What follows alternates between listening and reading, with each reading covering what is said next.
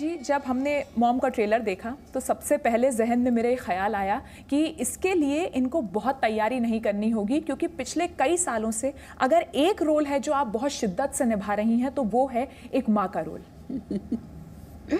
Thank you तो Mom film, हर कोई जानता है कि श्री अब किरदारों को लेके बहुत चूजी हैं।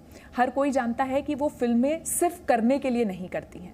तो मॉम फ़िल्म की कहानी में वो एक चीज़ जिसने हुक कर लिया श्रीदेवी को। ऐसे कुछ, ये सब्जेक्ट कुछ मैं ये नहीं कहूँगी, ये बहुत हटके से है, कुछ डिफरेंट स्टोरी है, इसीलिए मैंने किया। एक मामूली, एक सिंपल फैमिली सब्जेक्ट है। बट बहुत ही इमोशनल फ़िल्म है। सिर्फ़ मेरे किरदार नहीं है, बाकी किरदार भी बहुत ही इमोशनल बहुत ही इंटरेस्टिंग कैरेक्टर्स है। तो वही एक वजह है मुझे इस फ़िल्म की। नवाज़, आपको तो अपनी एक्टिंग से लोगों को चौंकाने की शुरू से आदत रही है। अब जो आप ये लुक्स के साथ चौंकाने लगे हैं, वो काबिल तारीफ़ है। इस फ़िल्म में आपका लुक देखकर एक बार के लिए दोबारा नज़र रुकती है इस पर।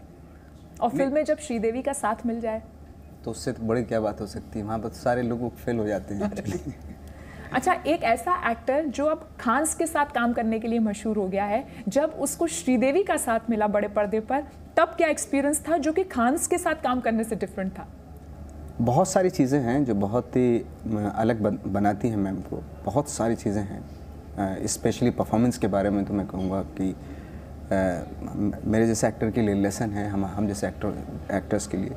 क्योंकि मैं मैं इसलिए नहीं कि भाई मैं इस फ़िल्म में काम किया है इसलिए बोल रहा हूँ क्योंकि मैं पहले से ही बहुत बड़ा फ़ैन रहा हूँ मैम का।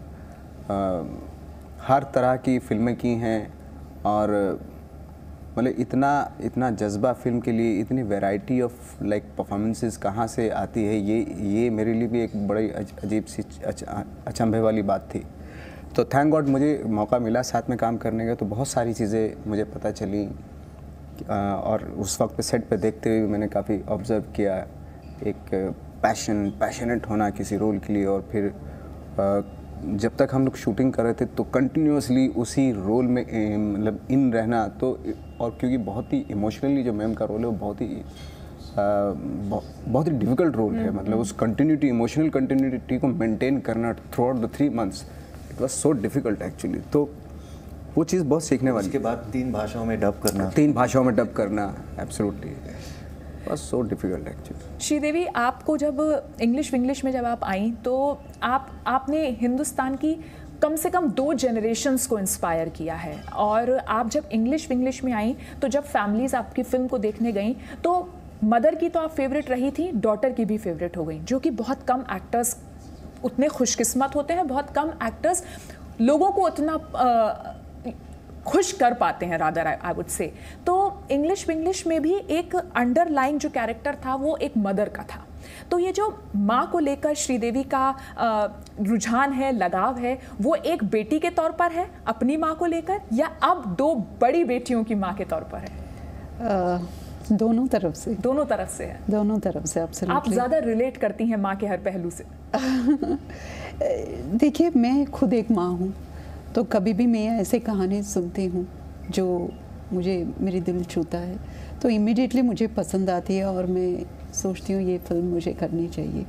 और ऐसे कुछ मौका नहीं है तो मैं इस फ़िल्म को नहीं कर ये फ़िल्म की जब शूटिंग की श्रीदेवी अब आपकी दोनों बेटियाँ बड़ी हैं अब उनको आपकी उस तरीके से ज़रूरत नहीं है जैसी एक कम उम्र में लड़कियों को बच्चों को किसी को भी होती है तो शायद अब हम आपको और ज़्यादा फ़िल्मों में देखें। देखिए इंग्लिश इंग्लिश के लिए पंद्रह साल लगी। बिल्कुल और इसमें चार उसके साल बाद चार साल लगी। सिर्फ़ चार ही साल है तो आई एम प्रोग्रेसिंग प्रोग्रेसिंग होता क्या है जब एक आर्टिस्ट इतना काम कर लेती है अपने करियर में शायद एक ऐसा समय आता होगा। मेरे को मालूम नहीं मैं इन, इन, इनके लिए बोल रहा हूँ क्यों लेकिन ऐसा हो सकता है कि एक आर्टिस्ट के दिमाग में आता है कि अभी मेरे को इतना काम नहीं करने का है। हाँ, मैं तभी काम करूँगी जब मैं वो मटेरियल को रेजिस्ट नहीं कर सकती। हाँ।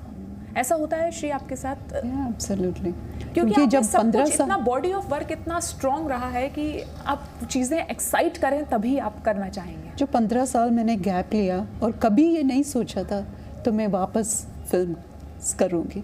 तो I was in my own world I was so happy with my children and all जब ये कहानी इंग्लिश में इंग्लिश सुना, सिर्फ़ एक लाइन जो Balki is very dear friend of my husband तो ये कहानी सुनाया तो immediately I could relate to that character I could I mean I felt all the mothers mothers the the will identify themself so that was a reason ऐसे कुछ choose ही नहीं है plan है। ऐसे कभी कभी कहानी बहुत मुश्किल से आर्टिस्ट को मिलती है। फिर यू रियली मॉम का भी श्रीदेवी जब ट्रेलर देखा तो उसमें एक लाइन जो स्टे करती है वो होती है कि आप आपको बच्चे को समझाने की ज़रूरत नहीं है उसे समझने की ज़रूरत है। आपकी खुद की डॉटर्स अब ग्रोन अप हैं फ़िल्मों में आने वाली हैं कितना रिलेट किया आपने इस डायलॉग से? कि आपको बच्चों को समझाने की नहीं समझने की ज़रूरत है। ये बहुत ज़रूरी है। ये ये डायलॉग बहुत वैल्यूएबल डायलॉग है जो बच्चे बहुत पसंद करते हैं सुन के एक्चुअली मुझे भी यही लगा था वेरी अच्छा अच्छा। चलिए ऐसे कभी कभी हमारी ज़िंदगी में होती है हम लोग me and bony ji discuss करते हैं कभी हम उसको समझने की बहुत ज़रूरी है instead of just giving them lectures it's very easy to you know they give them a lecture but it is more important to understand them तो यही इस कहानी है इस फ़िल्म में जो डायरेक्टर रवि कहने की कोशिश की है। आ, श्री जानवी अब फ़िल्मों में आने वाली हैं। करण जौहर के साथ वो अपने फिल्मी करियर की शुरुआत करेंगी। एज अ मदर नर्वसनेस भी है लेकिन जब इतनी अकम्पलिश्ड एक्टर एक्टर घर में हो तो बच्चा जो नेक्स्ट जनरेशन का होता है वो लुक अप टू करता है। वो चाहता है कि उसको सही गलत कम से कम अपने माता पिता बड़े भाई बहन से पता चले। What is that one advice that you give ji सबसे पहले मैं ये रिक्वेस्ट करूँगी जानवी के बारे में हम लोग जब टाइम होगा उस वक्त बात करेंगे। एज अ मदर आप उनको क्या सजेशन एक जो सलाह जो आपने कहा हो कि इसको हमेशा अपने साथ रखना बाकी तुम्हारी ज़िंदगी का सफ़र तुम्हारा अपना है। भले ही तुम एक्टर बनो कुछ और प्रोफेशन चूज़ करो। ऐसे एक चीज़ नहीं है एज अ मदर काफ़ी चीज़ें हैं। हम लोग अपने बच्चों को आ, कहने की कोशिश करते हैं। आ, जैसे पंचुअल रहना बहुत ज़रूरी है। टाइम पर you know there are many qualities you know to become an actress it's very important एक चीज़ नहीं है जो सिंसियरिटी होना चाहिए हार्ड वर्क होना चाहिए टाइम पर पहुँचना चाहिए to respect you know there are many things जो हम कोशिश करते हैं बच्चों के कहने के लिए। श्री, आपको हमने बहुत ही हाईली कमर्शियल फ़िल्में करते देखा है सम नॉट सो कमर्शियल बहुत सेंसिटिव फ़िल्में करते देखा है। अब इंग्लिश विंग्लिश और मॉम के बाद क्या ऐसी उम्मीद की जाए कि हम एकदम से देखेंगे कि श्री अपने फैंस को दोबारा शॉक करेंगी?